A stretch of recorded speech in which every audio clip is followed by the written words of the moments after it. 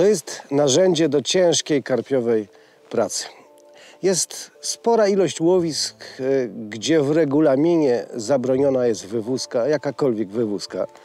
Więc e, wędka do nęcenia czasami bardzo się przydaje. To jest e, nowy model na 2023 rok znanej serii Prologica C serię Spot and Marker. Tak to się nazywa i sama nazwa już wszystko nam mówi.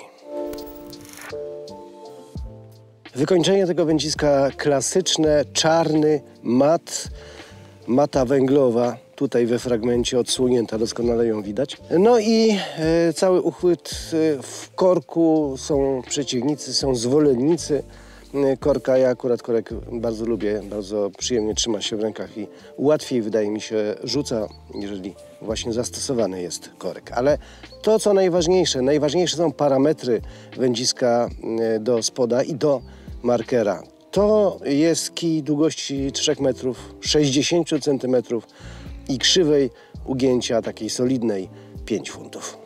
Cienkie, lekkie przelotki, ta startowa 50 mm, no bo jakżeżby inaczej, przy wędzisku, którym powinno się rzucać na ekstremalnie dalekie dystanse.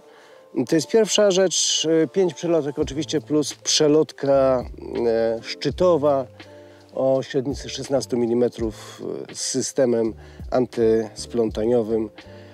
Kij niezwykle mocny, no każdy kij, który ma krzywą gięcia 5 funtów musi być mocny, ale ten jest wykonany z y, wysokomodułowego węgla, więc myślę, że każda rakieta założona na to wędzisko będzie fantastycznie lecieć. Oczywiście pod warunkiem, że potrafi się wykorzystać moc takiego kija. Nieprzypadkowo w nazwie wędziska jest oczywiście spot and marker, czyli dwie części tego określenia. Oczywiście rakieta zanętowa jest podstawowym narzędziem, które współpracuje z tym wędziskiem.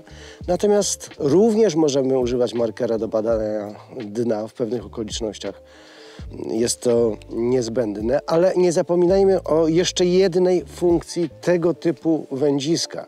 Parę razy widziałem, że właśnie e, kij do spomba znakomicie sprawdził się jako wędzisko do łowienia karpi. E, W pewnych okolicznościach oczywiście.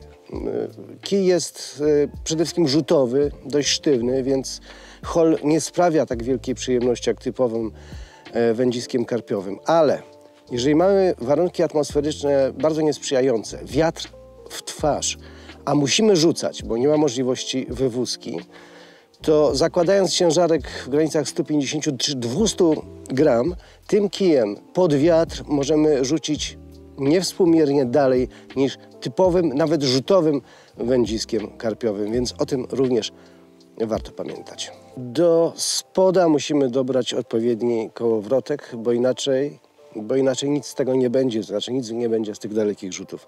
Oczywiście kołowrotek e, typu Big Pit z wysoką, szeroką szpulą, z doskonałym nawojem linki, żeby można było daleko rzucać. To jest Prologic Avenger XD mm, 8000 FD, który wydaje mi się doskonale nadaje się właśnie do takiego e, zestawu. Oczywiście to jest olbrzymia pojemność szpuli, ale w tym przypadku rzutów z brzegu, no przecież więcej niż 200 metrów, tak szczerze mówiąc, nie jest nam potrzebne. No ale tak czy inaczej, linka musi być do krawędzi szpuli nawinięta, żeby uzyskiwać te jak największe e, odległości. Oczywiście o pryponie strzałowym nie zapomnijmy, bo tutaj jest to konieczne.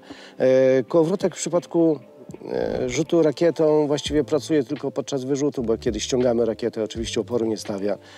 Więc te sześć łożysk, które tutaj jest, przy normalnym wędkowaniu w zupełności wystarczają, natomiast przy rakiecie tego jest aż nadto. Więc Doskonałe zestawienie e, tego wędziska serii C, Spot i Marker i kołowrotek Avenger XD 8000.